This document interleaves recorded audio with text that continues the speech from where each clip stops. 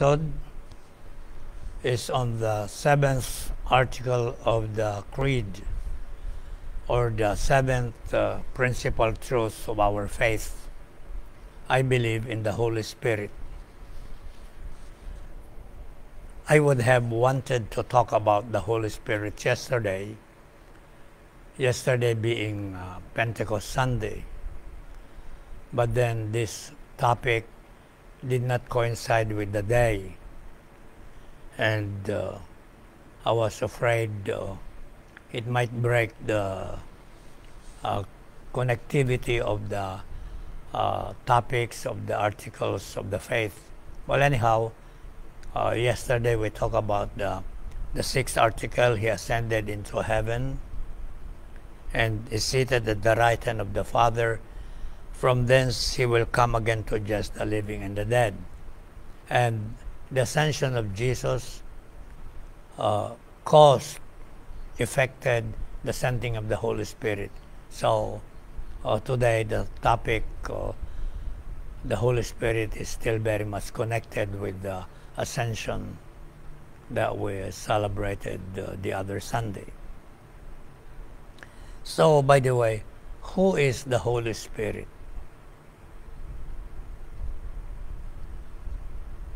The Holy Spirit uh, as a person of the Holy Trinity is rather quite far off from the minds and from the love and devotion of Catholics.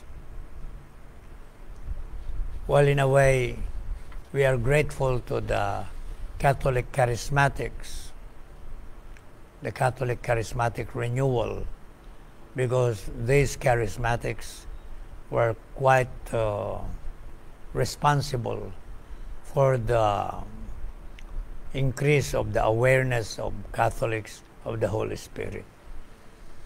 And at the same time, the devotion to the Holy Spirit. So, who is the Holy Spirit? The Holy Spirit is consubstantial with the Father and the Son Therefore, is God, the third person of the Holy Trinity.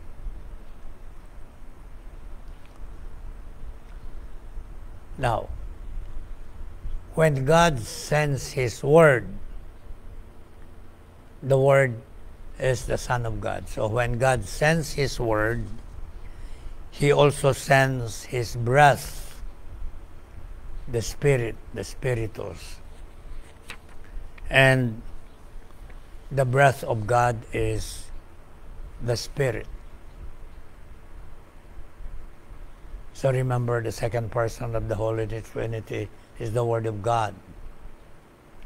And the breath of love between Father and Son is the Holy Spirit. And so when God sends His Word, He also sends His breath,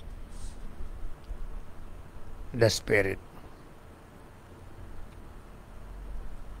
The mission of the spirit of adoption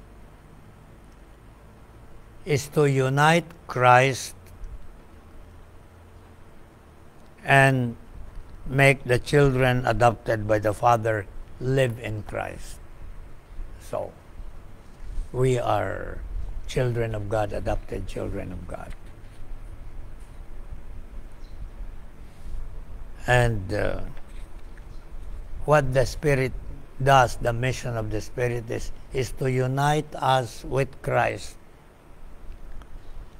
and make the adopted children of the Father live in Christ. So that's the mission of the Holy Spirit to unite us with Christ and to make us live in Christ.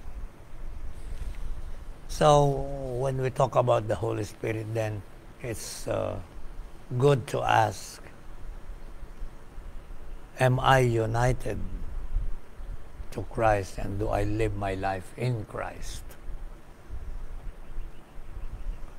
Now let's uh, take the names and the titles and symbols of the Holy Spirit. And the name of the Holy Spirit is Holy Spirit. So when we say Holy Spirit, it's tantamount to a proper name. Just as the name God, Yahweh, is a name of God. Spirit is the translation of the Hebrew word ruach. Ruach in Hebrew means breath, air, wind. And therefore, the Spirit is the breath of God. And since He's the Holy Spirit, therefore the Spirit is the holy breath of God.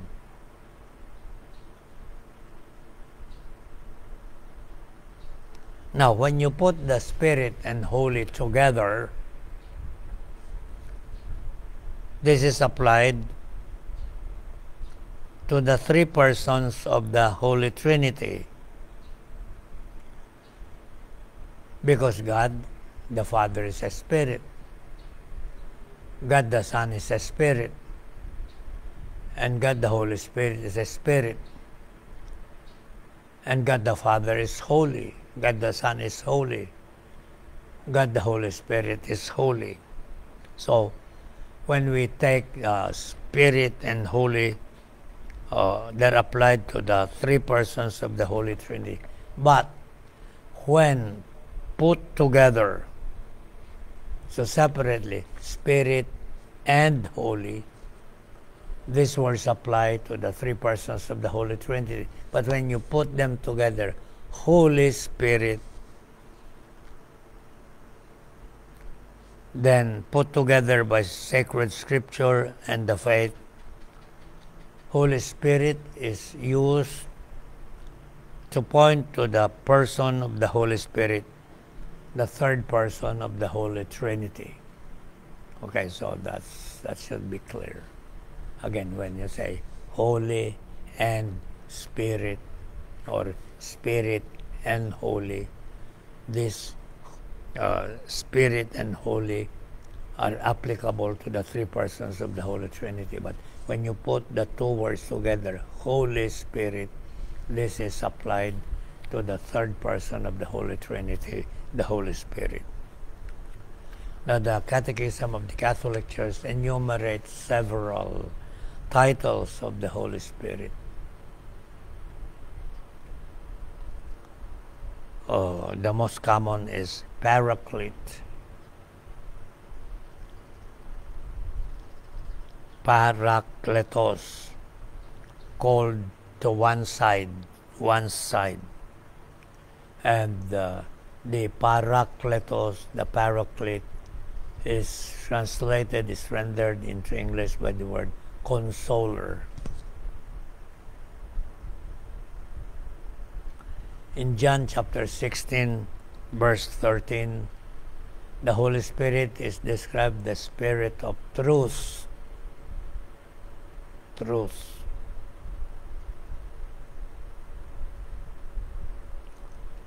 St. Paul, however, in Galatians 3:14, he says the Spirit promised by God.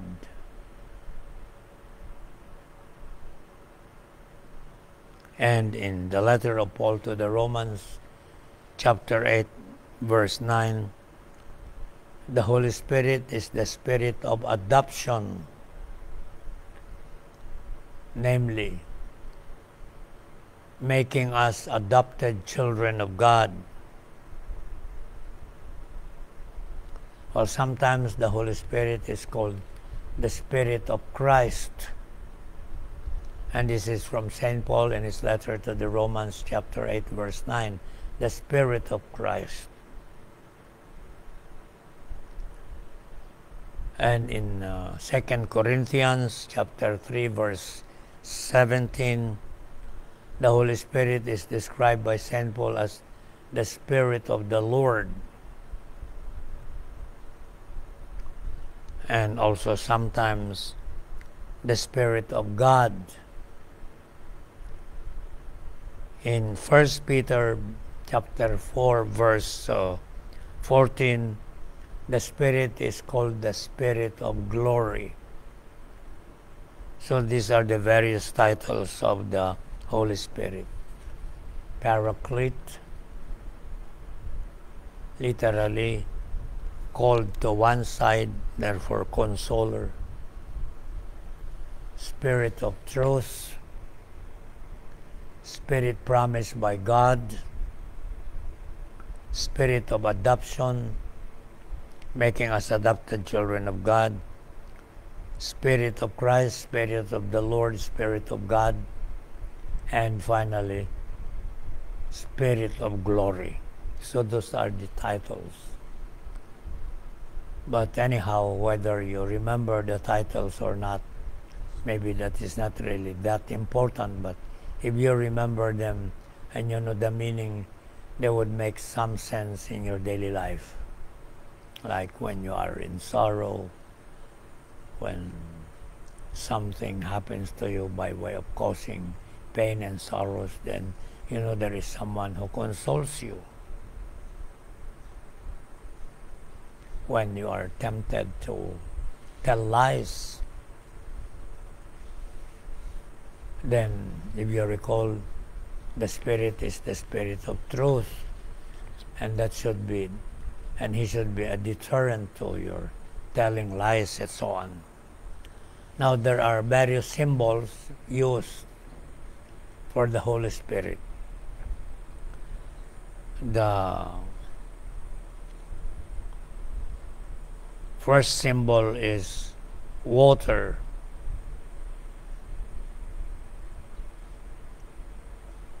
was it yesterday when Jesus said in the gospel, If anyone is thirsty, let him come to me and drink of, from the wellspring of living water. And that living water is the Holy Spirit.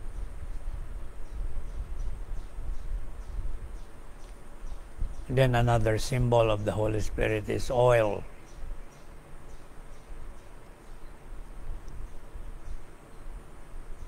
Yesterday, if you recall, during the first reading of Pentecost Sunday Mass, the Holy Spirit descended on the apostles, gathered them in prayer in tongues of fire, but their heads were not burned. So, another symbol of the Holy Spirit is fire. You noticed my stole yesterday during the Mass, the right side of the stole was uh, a symbol of fire, something like a column of fire that's symbolic of the Holy Spirit. And uh, another symbol of the Holy Spirit is cloud and light.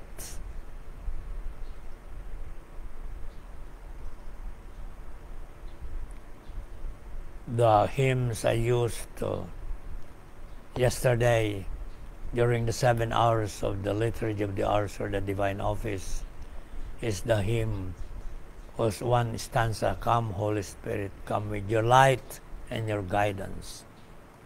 So cloud and light those are two other symbols of the holy spirit. And then you have the symbol of mark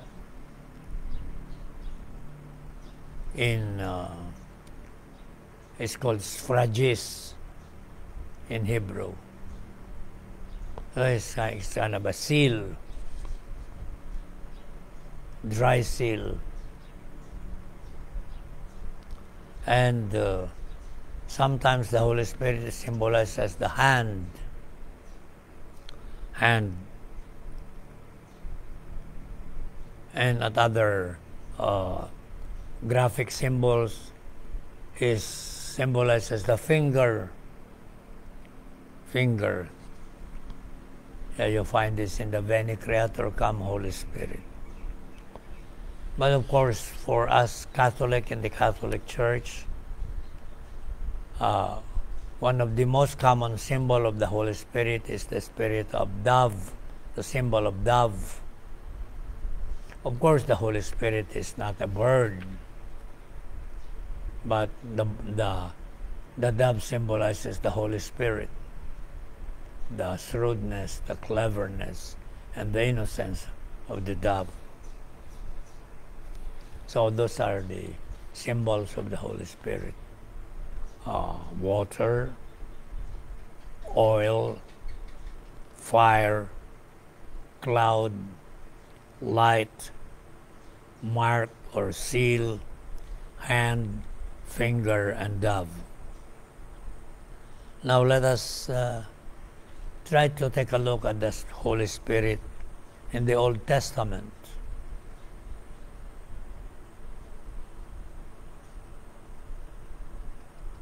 And uh, we find the Holy Spirit in creation. Genesis would uh, describe the Holy Spirit hovering over creation, which was still chaotic, and the Holy Spirit gave order to creation.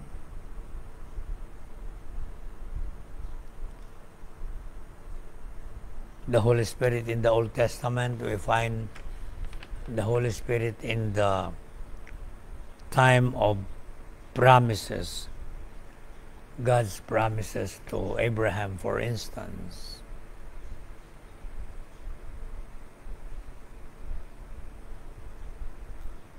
Then we find the Holy Spirit in the theophanies and the law.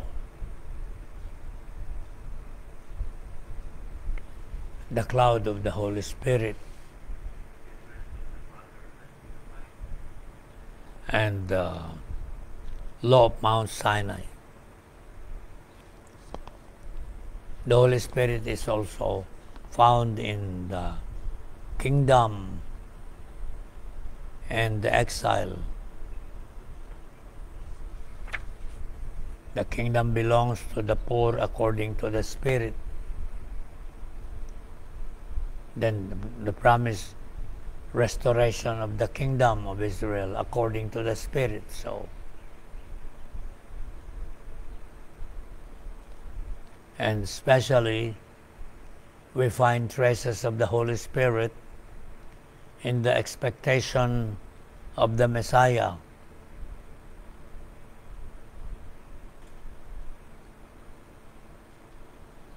Behold, I'm doing a new thing Isaiah 43:19 the announcement of a new world a new spirit.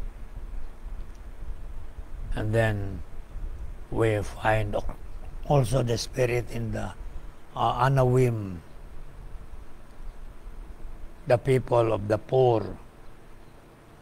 And the spirit is making ready a people prepared for the Lord. And this is the Anawim so we, we find traces of the Holy Spirit already in the Old Testament. And they will find its their uh, fulfillment in the New Testament. So where do we find the Holy Spirit in the New Testament? Well, we find first of all the image of the Spirit, the mention of the Spirit in the life of John the Baptist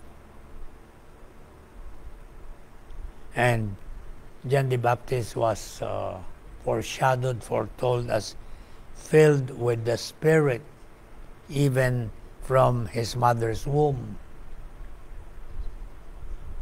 You find that in Luke chapter 1, verse 15. So John the Baptist would be someone filled with the Spirit even from his mother's womb.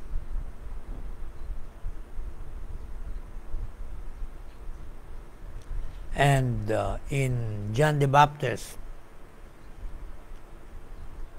the Holy Spirit uh, concludes his speaking through the prophets.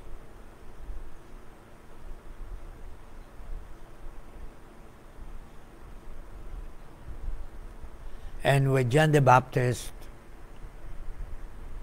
the Holy Spirit begins the restoration of man to the divine likeness, prefiguring what he would achieve in and with Christ. So there you have the uh, foreshadowings of the Holy Spirit in John the Baptist, filled with the Spirit even in his mother's womb. And in John the Baptist, the Holy Spirit concludes his speaking through the prophets, and with him, the Holy Spirit uh, undertakes the restoration of man to the divine likeness.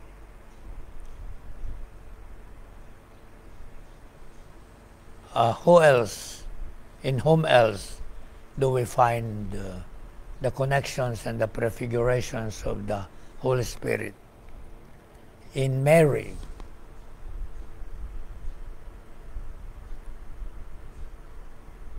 Who was overshadowed by the Holy Spirit. So, overshadowing the Holy Mary, the Holy Spirit overshadowing Mary. And Mary conceived the Son of God in the power of the Holy Spirit, not according to the seeds of man, but in the power of the Holy Spirit.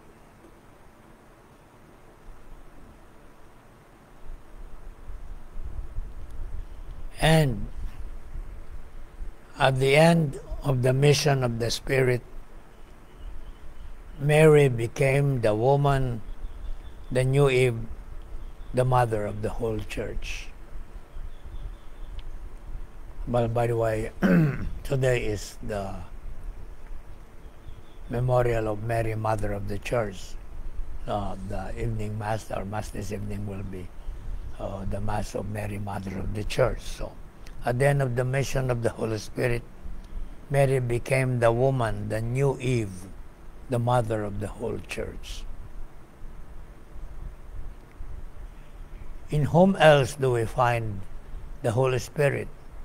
In John the Baptist, in Mary, now in Jesus Christ. In Jesus Christ. And uh,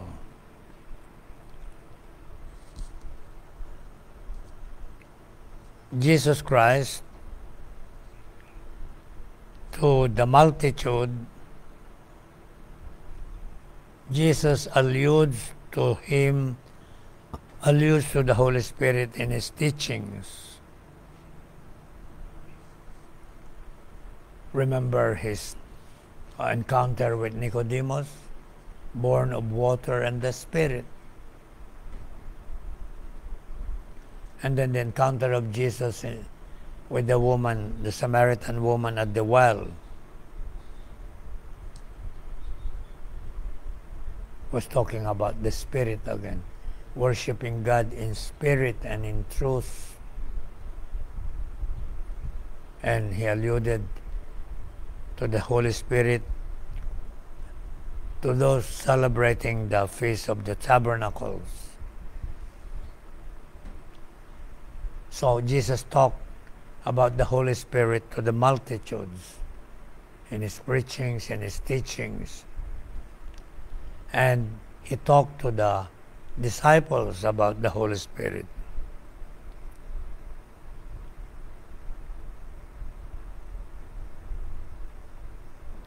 And to the disciples, Jesus spoke openly of the Holy Spirit in connection and with the witness they will have to bear. So you will receive power from the Holy Spirit. And you will be uh, bearing witness to me in Jerusalem and elsewhere.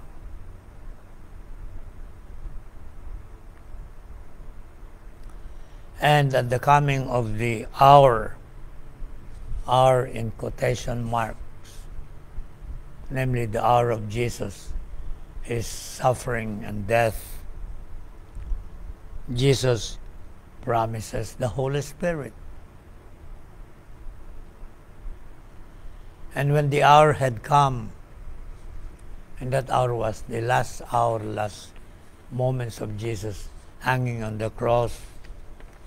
And so when the hour had come, He gave up His Spirit so that after His resurrection, He could breathe the Spirit into His disciples. You remember the, the gospel yesterday. He breathed the Holy Spirit into the disciples' interior. So, therefore, uh, we have Jesus talking openly about the Holy Spirit to his disciples in relation to their bearing witness to him. And uh, at the coming of the hour, namely his death on the cross, Jesus promises the Holy Spirit. And when the final hour had come, he gave up his spirit so that after the resurrection, he could breathe the spirit into his disciples and breathing on the disciples, receive the Holy Spirit.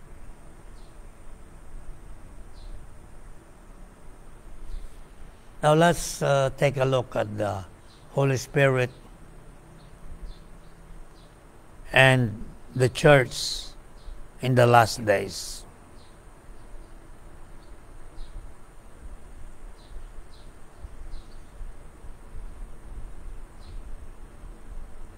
And we begin with Pentecost. We celebrated Pentecost Sunday eh, yesterday. And on Pentecost Day, what happened?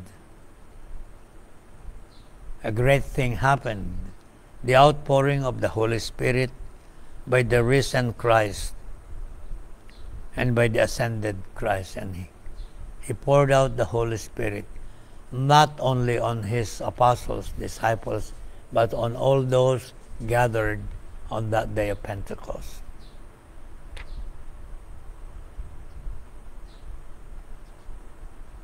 So, with the outpouring of the Holy Spirit, we have now revealed the Holy Trinity in His in, in His fullness.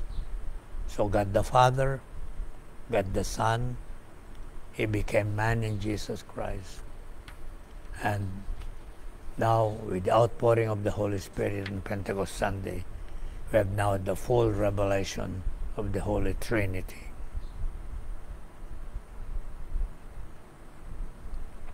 And not only that, the kingdom of God announced by Christ has been opened to those who believe in Him.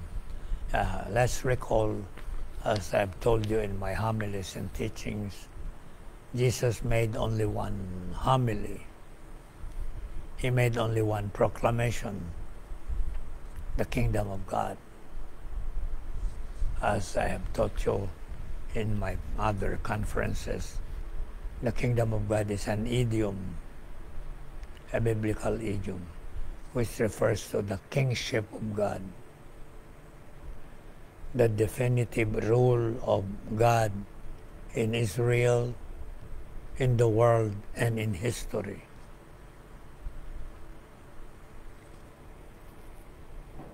As he was talking about this, and he was also talking about the blessings of the kingdom.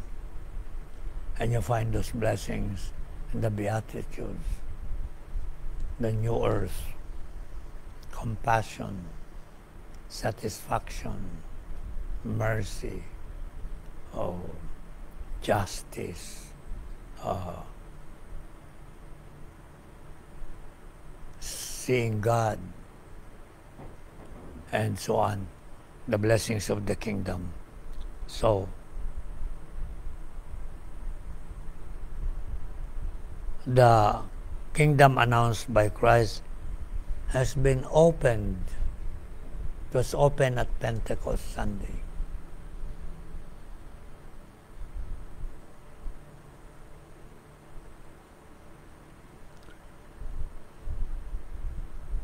Only to those who believe in Jesus. Because as we know, there were many who did not believe in him.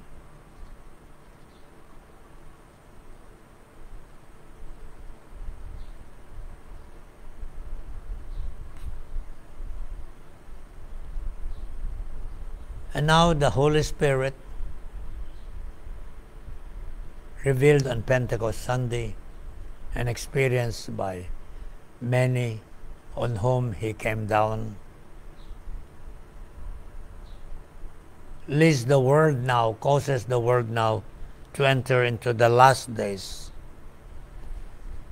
Well, uh, it's not yet the last uh, judgment, but when we speak of the last days, we refer to the days of the church.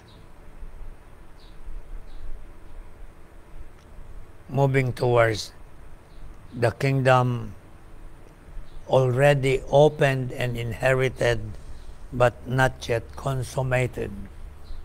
So, this is what the Holy Spirit does.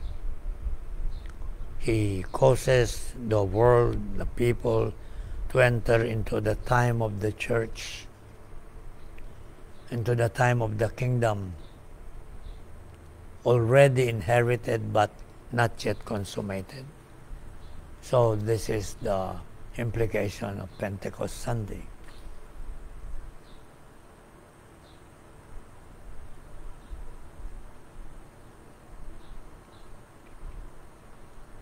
Now, the, the Holy Spirit is God's gift.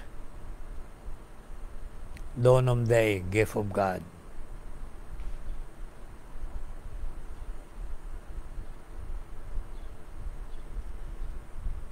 we have been taught by the gospel, especially according to John and his letters, that God is love. And the Father's first gift of love is the Holy Spirit, the Spirit of love.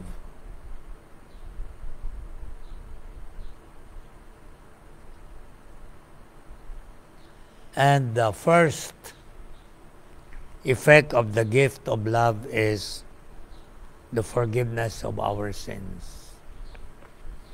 Well, you, you recall the gospel yesterday, although I did not uh, elaborate on it because I had other perspective to present to you. Jesus uh, breathed into the disciples the breath of love and he breathed the Holy Spirit into them. And he said, Receive the Holy Spirit, whose sins you shall forgive, they are forgiven them.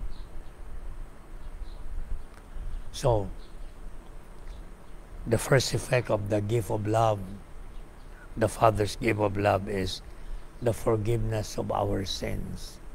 And this is brought into effect by the Holy Spirit.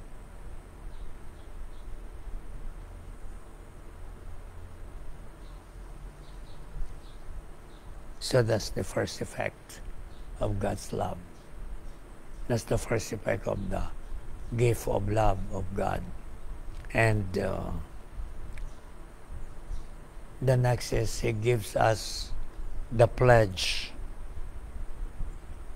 The pledge or the first fruits of our inheritance.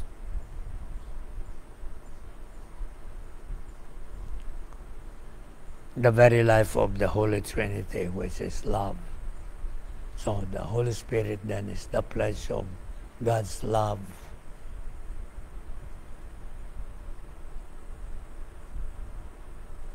And this love, understand it as charity, understand charity as agape, understand agape as help us, selflessness and selfishness this love is the source of new life in Christ.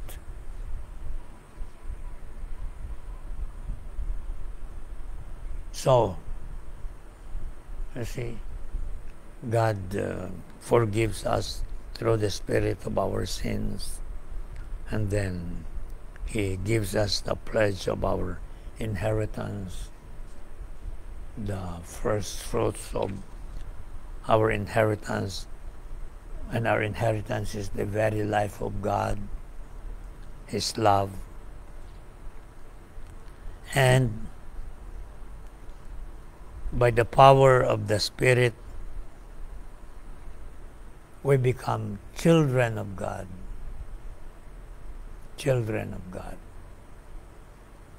And by the power of the Holy Spirit, as children of God, we bear fruit, much fruit, the fruit of the Spirit. So, you have them enumerated by St. Paul in his letter to the Galatians, chapter 22, chapter 5, verses 22 to 23. Love, peace, joy, patience, long suffering, chastity, mildness, and so on, the fruits of the Spirit. By the way, uh, St. Paul uses the singular, the fruit, because one fruit after the other is concatenated with the other, and so there is only one chain of the fruit of the Holy Spirit. So, by the power of the Holy Spirit, we become children of God and we bear much fruit, the fruit of the Spirit. So does the Holy Spirit as God's gift. Now let's uh, situate the Holy Spirit now in the life and mission of the church.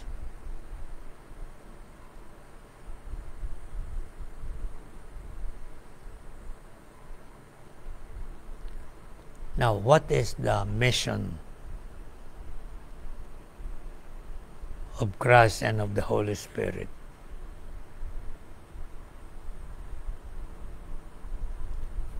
First, uh, Christ faithful. We believers in Christ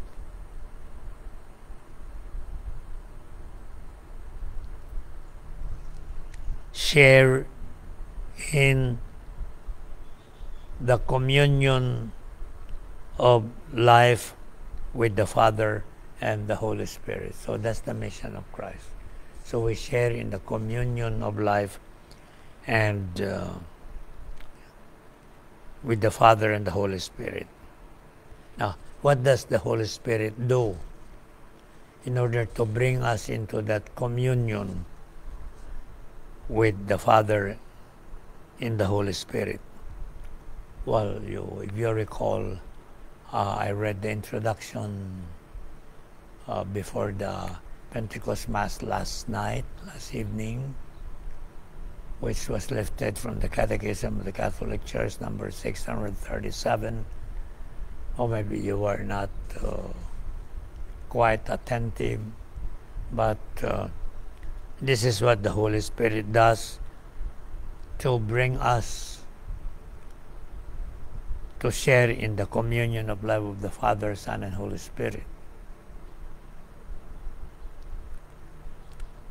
the Holy Spirit prepares people with His grace.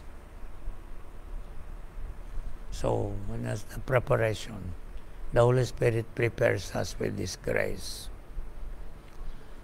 in order to draw us to Christ, to bring us to Christ. So, like anything else, this uh, drawing close to Christ needs preparation and that's the work of the Holy Spirit.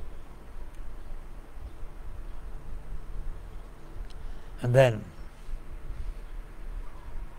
after the needed preparation, the Holy Spirit manifests the risen Christ to us. He, he shows the risen Christ to us. Yeah, by the way, as I've been always asking you, have you met the risen Christ?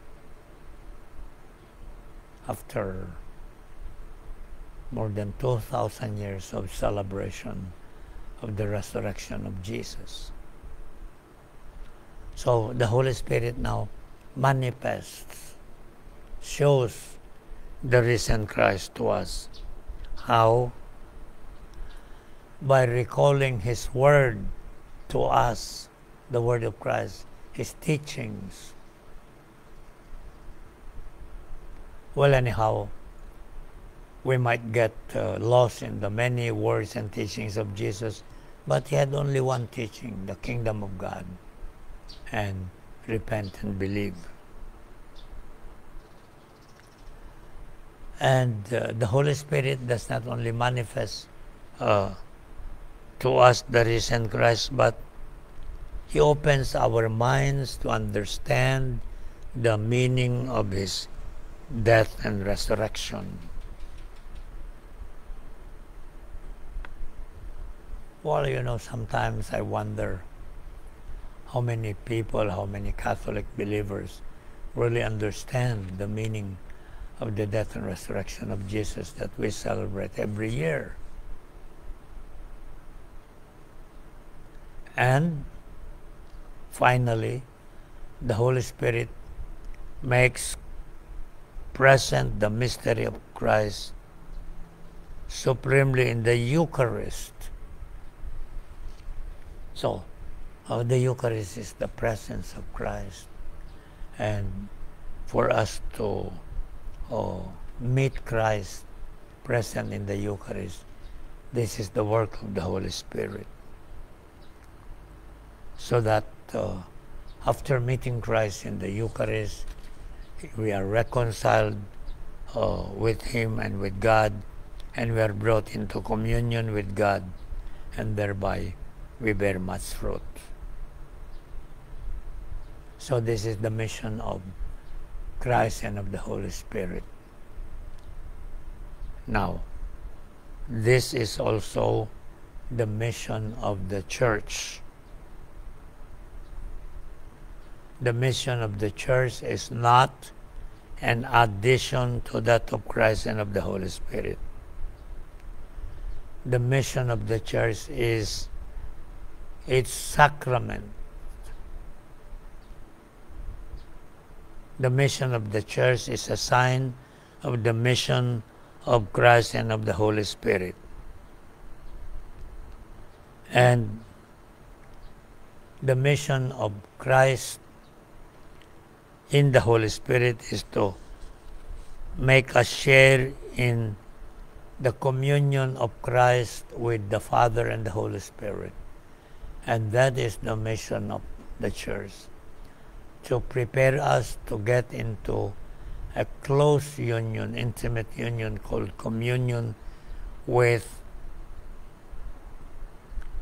the body of Christ, in the body of Christ, with the Father and the Spirit.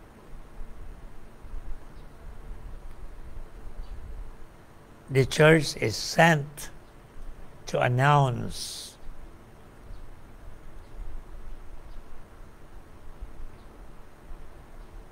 Christ and his mystery. The church is sent to bear witness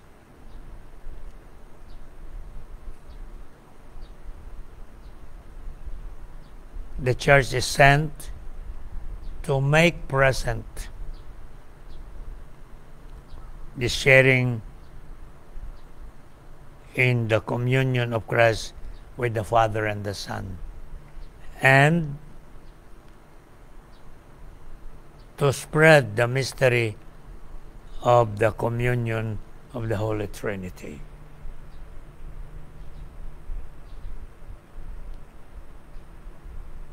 So, that is the mission of the church, and it is our mission too. So, therefore, whenever we talk about the Holy Spirit, when we say, I believe in the Holy Spirit, we say, we believe that we are sent to announce, to bear witness, and make present and spread the mystery of the communion of the Holy Trinity, the communion of Father, Son, and Holy Spirit, and we are drawn into this communion.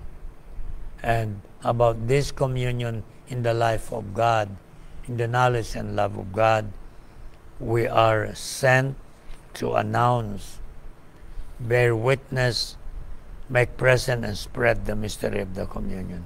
And this is our life in the Spirit. Oh, what's happening today is we have, we have what we call Life in the Spirit seminars. They last for sometimes three days, sometimes two days. But uh, the Life in the Spirit seminar is about this the mystery of uh, the communion of Christ with the Father in the Holy Spirit. And we are made to share in the communion of Christ, in the communion of life with the Father and the Holy Spirit. And after sharing this communion with Christ and with the Holy Spirit, with the Father and the Holy Spirit, then we are sent to announce, to proclaim, to bear witness to it, and to work that it, it be spread throughout the world. And this is the work of the Holy Spirit. It is our work, and it is the work of the church. Tomorrow, I will explain the meaning of the church. So, hope to see you again tomorrow. And uh, let's go now and live our life in the Spirit according to the principles and the teachings I left with you in this webisode. Oh, it's almost time now, and so it's time to say goodbye, and we'll see you again tomorrow.